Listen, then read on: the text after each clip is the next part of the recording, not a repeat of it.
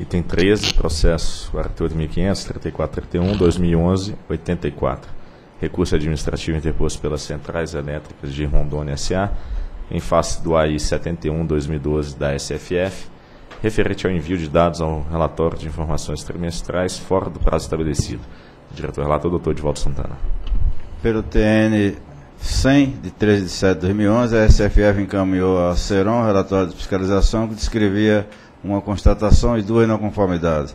A primeira era o não envio tempestivo do relatório de informações trimestrais e a segunda era quando a empresa enviava essas informações que vinham para a ANEL não eram consistentes. Após a manifestação da empresa, a SF emitiu aí com multa de quase 280 mil reais. Em 6 de 7, a empresa apresentou recurso. E a, o argumento principal era de que tinha problemas técnicos no duto Além disso, a empresa argumenta que a infração não ocasionou qualquer dano ao serviço concedido e aos consumidores, então solicitou que a, a multa fosse convertida em advertência. Em 22 de 2 de 2013, a SFF fez a análise de pedido de reconsideração e reduziu a multa para pouco mais de 102.400 mil reais. E o dia 4 de 3 o processo foi a mim distribuído. Dia 12, solicitei manifestação da Procuradoria que o fez pelo parecer 174 de 5 de 4. É o relatório. Procuradoria. Procuradoria reitera o parecer 174 de 2013, opinando pelo conhecimento e desprovimento do recurso. Como já disse antes, a Ceron, em sua manifestação, disse que tinha um problema técnico no sistema operacional da ANEL, que é o DUT, que impedia o envio das informações, e tão logo isso foi possível, ela enviou a documentação de maneira regular.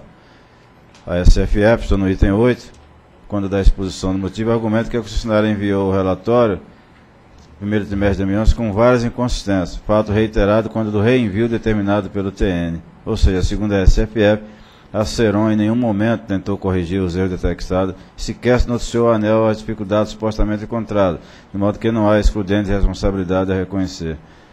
A SFF, mesmo assim, analisou o pedido de conversão, verificando que não havia sido multa imputada a Ceron, não havia sido imputada a autuação idêntica, mas não considerou a, que a, a infração tenha sido de pequeno potencial ofensivo, manteve a multa, mas já reduzida no item 9, onde está escrito 10.411 a 102.411. A Procuradoria, em seu parecer, entendeu que, embora a distribuidora alegasse a existência de problemas técnicos atribuídos à ANEL, em nenhum momento ela conseguiu provar isso de maneira inequívoca.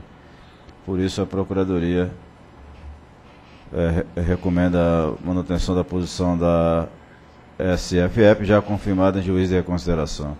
Diante do exposto, que consta do processo listado, voto por conhecer no mérito de aprovimento parcial o recurso da Seron, reduzindo a multa do AI para R$ 102.411,81, que deve ser atualizado nos termos da legislação vigente. É o voto. Em discussão, em votação. Voto com o relator. Também voto com o relator. Proclamo que a diretoria decidiu por conhecer no método da provimento parcial recurso da SER1, reduzindo a multa aplicada pelo auto de infração 71-2012 SFF para R$ 102.411,81. Próximo item.